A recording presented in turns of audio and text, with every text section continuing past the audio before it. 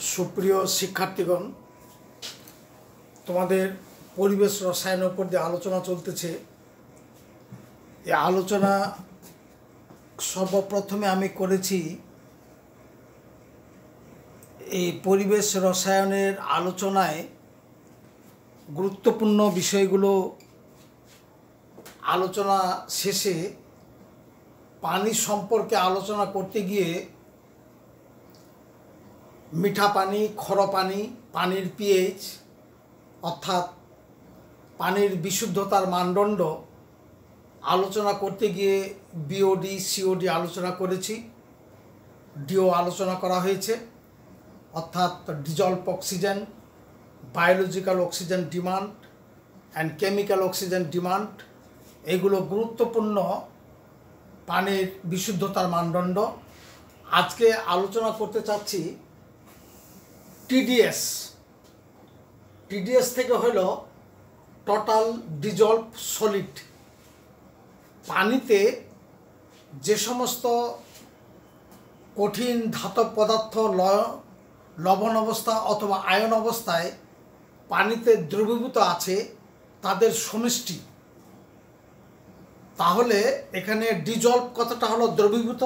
তাহলে সে আয়নগুলো অবশ্যই পানিতে আয়ন অবস্থায় হোক বা লবণ জাতীয় করে হোক, সেগুলো পানিতে দ্রবীভূত হয়ে থাকবে এবং সেগুলো অবশ্যই সলিড কঠিন।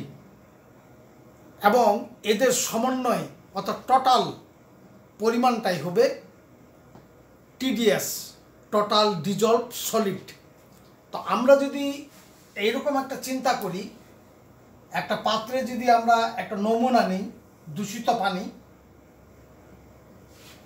যে পানিতে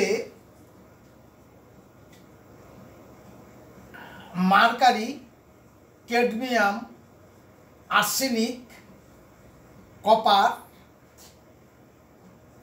ইত্যাদি।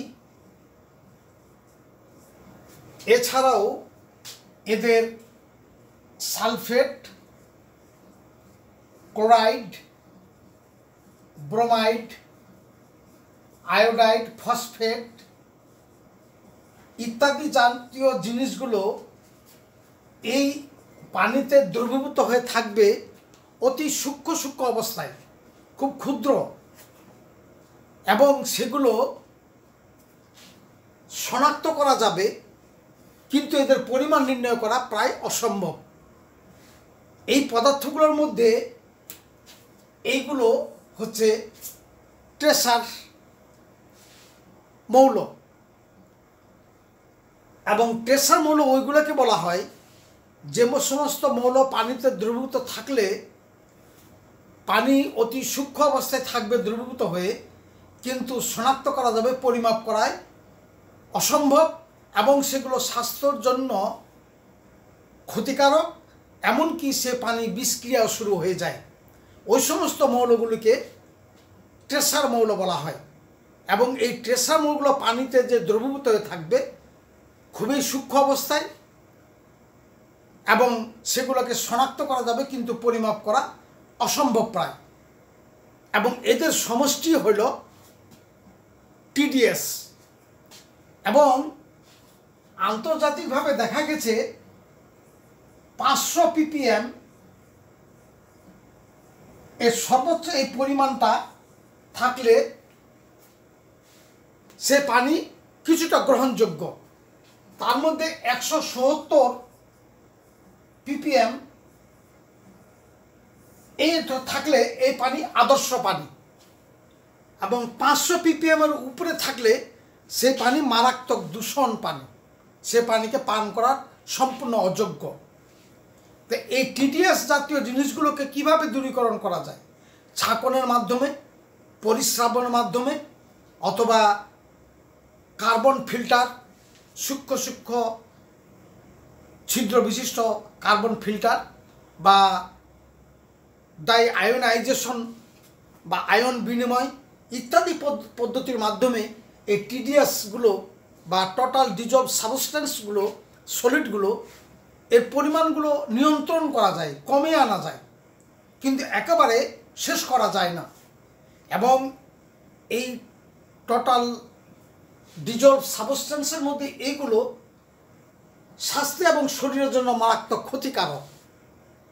এদের মাত্রা যদি বেশি হয়, শরীরে বিভিন্ন ক্যান্সার হতে আরম্ভ করে বিভিন্ন শরীরে প্রতিক্রিয়া সৃষ্টি হয় যদি পাঁচশো পিপিএমের বেশি থাকে।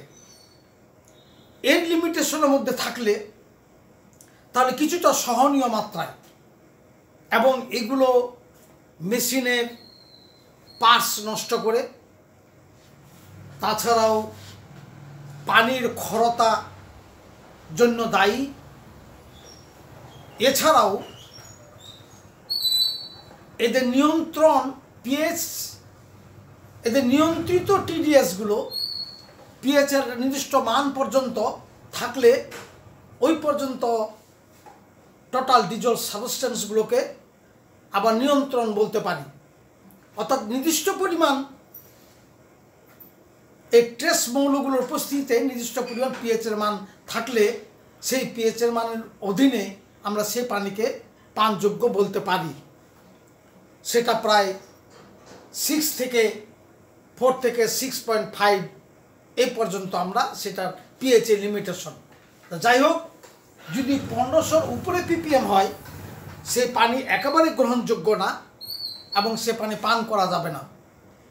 এইগুলো টিডিএস টোটাল ডিজলভ সলিড এই সম্পর্কে সংক্ষিপ্ত ধারণা এবং এই টিডিএস সম্বন্ধে আলোচনা করতে গেলে অনেক আলোচনা করা যাবে, কিন্তু তোমাদের কোভিড নাইন্টিন যে সংক্ষিপ্ত সিলেবাস আছে, সেই সিলেবাসের মধ্যে এইটুকু আলোচনা তোমরা ধরে রাখতে পারলেই উপকৃত হবে এবং তোমরা যদি উপকৃত হও, তাহলে আমি ধন্য হব।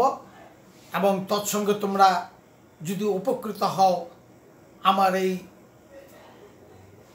আলোচনাগুলোকে লাইক এবং কমেন্ট করবে।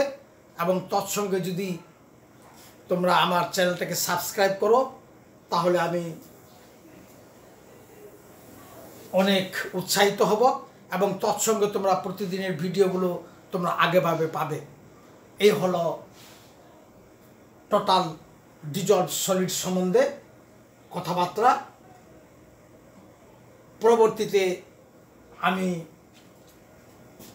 তোমাদের এই অধ্যায়ের এমসিকিউ যে প্রশ্নগুলো আসার খুবই সম্ভাবনা, সেই এমসিকিউ সম্বন্ধে আলোচনা করব। বিভিন্ন বোর্ডের এবং তোমাদের প্রচলিত যেগুলো রাইটারের বই তোমরা পড়ো, সেই বইগুলো থেকে যেগুলো খুবই গুরুত্বপূর্ণ এমসিকিউ সেই এমসিগুলো সম্বন্ধে আমি আলোচনা শুরু করব এবং তৎসঙ্গে চলবে তোমাদের তড়িৎ রসায়ন। এর মধ্যে আমি জৈব রসায়ন, পরিবেশ রসায়ন প্রায় হয়ে গেছে। এখন শুধু বাকি পরিমাপ রসায়নও হয়ে গেছে। তড়িৎ রসায়ন বাকি আছে। এটা সম্বন্ধে কিছু আলোচনা করার পাশাপাশি প্রথম পত্র এবং দ্বিতীয় পত্রের এমসিকিউ সৃজনশীল, এইগুলো সম্বন্ধে আলোচনা করব। তোমরা পারতপক্ষে আমার এই ভিডিওগুলো, বিশেষ করে পরিবেশ রসায়নের যে আলোচনাগুলো করা হয়েছে, এগুলো তোমরা এক নজর দেখে নিও। দেখলে তোমরা উপকার হবে তোমাদের বলে আমার বিশ্বাস। এই বলে আমি শেষ করছি। তোমাদের সকলকে ধন্যবাদ।